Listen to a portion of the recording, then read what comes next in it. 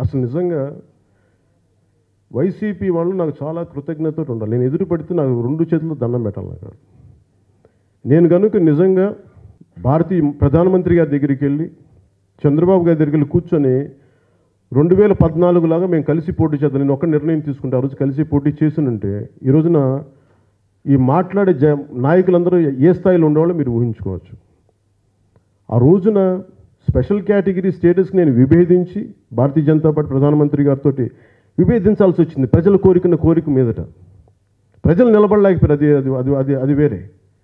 అలాగే నిజానికి వాస్తవంగా టీడీపీతో ఉంటే టీడీపీ కలిసి పోటీ చేస్తాం కదా. విడిగా పోటీ చేయాల్సిన అవసరం ఏముంది అసలు? అంత గొడవ పెట్టుకున్నాక ఎవరికైనా అసలు మనసు ఒప్పుద్దా తిరిగి కలిసి వెళ్దామని?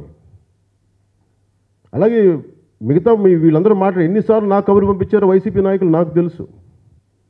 నేను ఎందుకంటే సభాముఖంగా చెప్పట్లేదు ఎందుకంటే వాళ్ళందరూ మోకాలు ఎక్కడ పెట్టినారో తెలియక నేను మాట్లాడట్లేదు అంతే.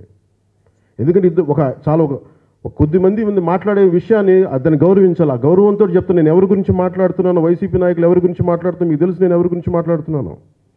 మీరు ఎలాంటి కబుర్లు పంపిస్తే నేను ఎలాంటి సమాధానం చెప్పానో మీకు తెలుసు. ఎంత గౌరవమైన సమాధానం చెప్పాను. అందుకని దయచేసి మీరు ఇలాంటి పిచ్చి అవాకులు చవాకులు మాట్లాడటం మానేయండి. భారతదేశం ముఖ్యంగా సెక్యులరిజం అనే పేరుని ఇది కుహాన లౌకికవాదం అయిపోయింది. Hi this is Karthike please subscribe please subscribe please subscribe don't forget to subscribe Chilli News Chilli News Chilli News Chilli News Chilli News మరిన్ని లేటెస్ట్ అప్డేట్స్ కోసం మా యూట్యూబ్ ఛానల్ని సబ్స్క్రైబ్ చేయండి. చిల్లీ న్యూస్ పక్కనే ఉన్న బెల్ బటన్ని thank you money కొట్టండి.